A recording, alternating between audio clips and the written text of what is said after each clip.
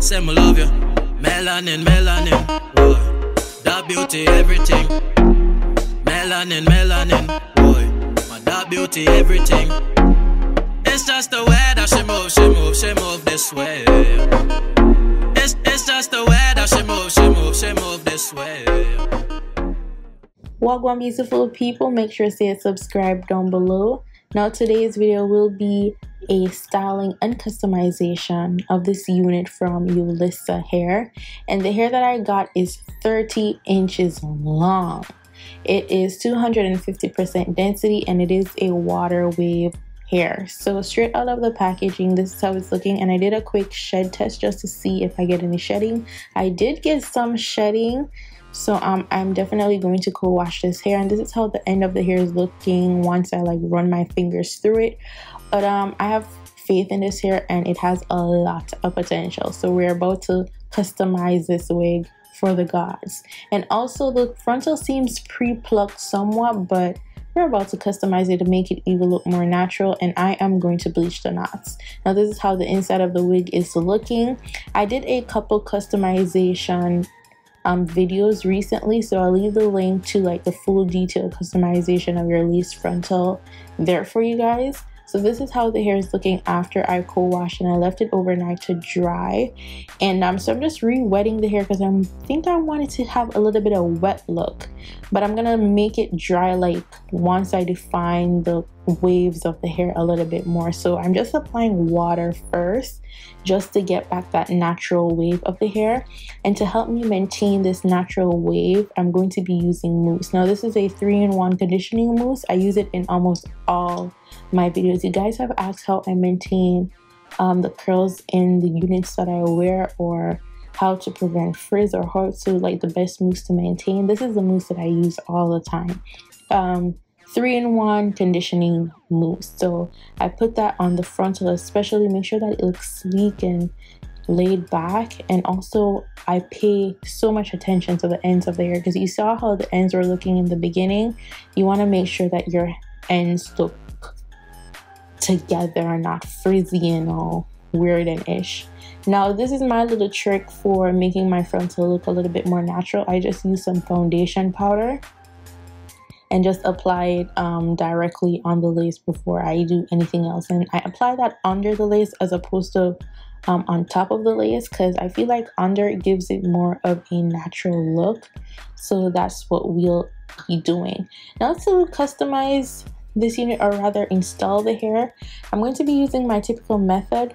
Um, I have good days and bad days just like anybody else when it comes to installing my units. This today was not the greatest because I had a little bit of trouble. I don't know what I did, but I had a little bit of trouble with um, getting the, the the lace to actually slay and stay how I wanted it to. So usually I just use the Got2b freezing spray on top of the lace, just like straight out.